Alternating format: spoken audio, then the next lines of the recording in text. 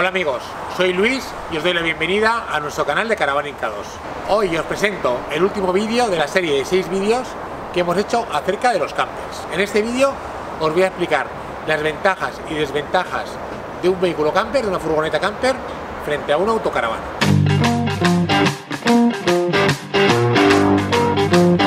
En primer lugar, para mí, y creo que para todo el mundo, la mayor ventaja son sus reducidas dimensiones. Es decir, un camper es más pequeño que un autocaravana. Pero de las tres medidas que son más pequeñas, para mí hay una que es la que es fundamental, que es su anchura. Un camper hace 2,05 de ancho, mientras que una autocaravana suele hacer 2,30. Es decir, tenemos 25 centímetros más ancho una autocaravana que un camper. ¿Qué pasa con esto? Pues mirad, esos 2,05 nos van a valer en muchas situaciones. Por ejemplo, si aparcamos en una plaza de aparcamiento, el ancho, una autocaravana nos va a sobresalir. En cambio, un camper se va a quedar dentro. Sobre todo si ese aparcamiento es en línea, pues claro, una autocaravana va a llamar muchísimo la atención porque va a sobresalir 20 o 25 centímetros del resto de los coches, mientras que un camper nos va a quedar en línea con todo. O vas a un centro comercial o lo que sea, siempre vamos a poder aparcar en una plaza, digamos, estándar, un poquito grandecita, pero una plaza estándar. La otra ventaja de los 205 a la hora de rutear, callejear, meternos por montaña, bueno, pues nos va a permitir el entrar por zonas más estrechas. A la hora de maniobrar, claro, cuanto más estrecho el coche, el vehículo, más fácil, es decir, los 205 se notan bastante. La siguiente medida, la altura, bueno, la altura también se nota. Normalmente un camper está en torno a los 260 una perfilada en torno a los 2,90, con lo cual tenemos 30 centímetros, y ya con una capuchina, que suele ser 3,15, bueno, 55 60 centímetros. Entonces, claro, al ser más bajito, es un vehículo que tiene el centro de gravedad más bajo, con lo cual se mueve menos lateralmente. Eh, se puede entrar a, podemos entrar a sitios, a más sitios que con una autocaravana, pero bueno, en ese aspecto sigue siendo 265 o 260 sigue siendo un vehículo alto, ¿no? Entonces muchas veces no vamos a entrar ni con un camper ni con una perfilada, ¿no? Porque muchas veces el Galibos se ha puesto a 3. Entonces, por, ese aspecto, bueno, pues sí puede ser que en algún sitio entréis, pero, pero tampoco. Realmente es más por el tema del volumen y del centro de gravedad que cuanto más alto, pues más se mueve el vehículo. Entonces ahí también ganamos. Y luego, en cuanto al largo, no, porque realmente si lo que buscáis es una autocaravana cortita, pues hay autocaravanas de 6 metros, con lo cual ahí estamos igual, o 6,40, ¿no? Entonces, como os digo, la primera ventaja son sus medidas, sobre todo el ancho. La otra gran ventaja, bueno, pues el que pasa desapercibido.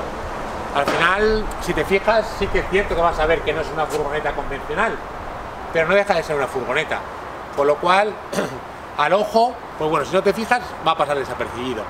Esto hace que si en algún sitio eh, no se puede dormir con autocaravanas o algún tipo de, de prohibición, quizás os pongan menos problemas.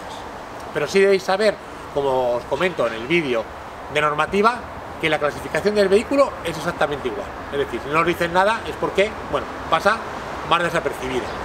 Y eso siempre yo creo, en mi opinión, siempre es bueno para, para todo. La otra ventaja es el consumo. Es menor que una autocaravana. No, lo notaremos mucho en una autocaravana pequeña, pero bueno, claro, una autocaravana más grande pues eh, va a consumir menos. Son vehículos más ligeros. Esto pesa, pues, no sé, 2.700, 2.800 kilos, las autocaravanas muchas pesan pasado los 3.000. Eh, el volumen hace muchísimo a la hora del consumo, entonces va a tener un consumo menor. Entonces principalmente para mí esas serían las ventajas, ¿no? Las medidas, el pasar más, más desapercibidos y un menor consumo. Seguro que hay gente que encuentra muchas más, como por ejemplo la estética, hay mucha gente que no le gusta la estética de una autocaravana, ¿no? Le gusta más la furgoneta, sobre todo en todos los que venís del mundo de la California y tal, ¿no? Pues autocaravanas como que no, no cuadra, ¿no? Y esto pues está, está, más, está mejor, ¿no? Va más con, el estilo de vida de la, persona, ¿no? Pero bueno, principalmente para mí esas tres. Desventajas, bueno, por lo mismo que son ventajas, también se, se cambian las desventajas, es decir, el que sea más pequeño el vehículo, que va a hacer que nos va a dar menor habitabilidad. Aunque el tema de la habitabilidad es una cosa, es un concepto eh, bastante subjetivo. Es decir, siempre nos hace mucha gracia cuando mejor viene un cliente, ¿no? una persona y tal, le enseñas un vehículo sobre todo la gente que viene de la montaña, ¿no? que ha dormido, yo qué sé, en una furgoneta, en una, en una Volkswagen Caddy y tal, entra en un camper, ¡guau! esto es enorme, grandísimo, le enseñas el armario gigante y tal, ¿no? y a lo mejor viene a los 10 minutos otra persona, entra y te dice, no, no, no, esto es, esto es pequeñísimo, esto, aquí no estoy, ¿no? Con lo cual el tema de la habitabilidad, bueno, pues sin duda es menor, pues claro, es más pequeño, pero también depende de las personas. Eso es una cuestión muy personal de cada uno. Es decir, tenéis que sentaros en un camper y veis cómo os encontráis. En el tema del almacenaje, ahí sí que sí, pues tienen menos sitio. Es decir, normalmente las autocaravanas casi todas ya tienen un garaje grande en el cual puedes meter bicicletas, puedes meter una moto, eh, lo que sea, si quieres hacer comida y tal, ¿no? El armario más grande, la nevera es más grande, todo es más grande en un autocaravana. Mientras que en un camper tenemos menos espacio, ¿no? Entonces ahí tenemos que ver qué es lo que necesitamos llevar. ¿no? Hay gente que, viajamos, yo por ejemplo viajo con una autocaravana de 7 metros y medio. ¿no? la tenemos llena de cosas. Eh, todo lo que llevamos no nos cabe aquí ni, ni para atrás, ¿no? Somos cuatro y no, y no entra. Hay gente que viaja con poquitas cosas y le sobra espacio, ¿no? Entonces, en menos sitio, pero bueno, si os podéis apañar, eh, pues bien también. Y también, claro, esto cambia mucho, si vais a ser dos personas a ser cuatro. Claro, yo entiendo que una pareja lo tiene bastante más fácil. Un matrimonio con niños, pues yo ya lo veo un poco complicado. Pero bueno, como decía antes, ya depende bastante de vosotros, del espacio y de las cosas que, necesitéis llevar. Otra desventaja puede ser el precio. Mucha gente viene, le enseñamos un camper, ¿cuánto vale? 47, 50. Y la autocaravana esa, 52. Dice, hombre, por 2.000 euros más, me llevo la grande, ¿no? Es decir, en relación a una autocaravana, el precio es muy similar. Entonces, claro, ¿por qué es esto? Realmente es que comparten casi todo.